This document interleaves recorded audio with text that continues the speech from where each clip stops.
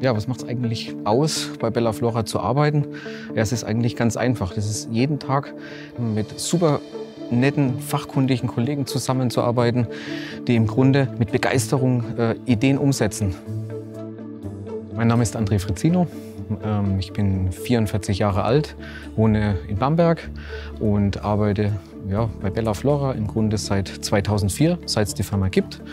Und von Beruf bin ich eigentlich Kaufmann, bin aber, ja, seit ich hier bin, im Grunde auch ja, Landschaftsgärtner und über den Beruf mit viel Leidenschaft und äh, Spaß aus. Derzeit beschäftigen wir 13 Mitarbeiter, alles auf ihrem Fachgebiet, gelernte Landschaftsgärtner oder anderweitig fachkundig, um kleine bis große Gärten zuverlässig auszuführen. Bella Flora versucht, die Mitarbeiter permanent weiterzubilden, sodass sie immer auf dem neuesten Stand der Technik sind.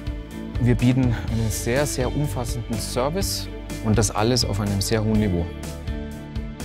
Ein guter Garten- und Landschaftsbauer braucht vor allen Dingen Spaß an seiner Arbeit. Er braucht die Motivation, jeden Tag aufzustehen und sein Bestes zu geben, um Sie als Kunden von Tag zu Tag neu zu begeistern und Daran haben die Jungs natürlich im Team auch ihre allergrößte Freude.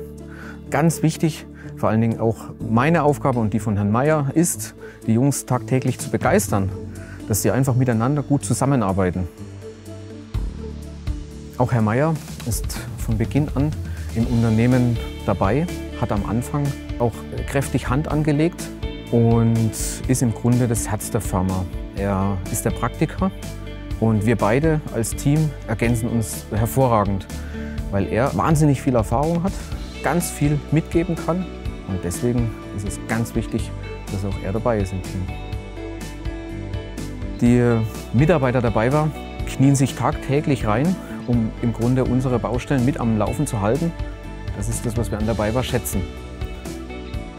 Wir haben ganz, ganz viele und vor allen Dingen nette Kunden, die schon auch fürs nächste Jahr signalisiert haben, dass sie mit uns gerne den Garten anlegen möchten. Aus dem Grund können wir nur optimistisch in die Zukunft blicken und freuen uns auf alles, was da kommt und auf jedes neue Projekt, wo wir wieder eine Herausforderung finden müssen, um eine gute Anlage zu gestalten.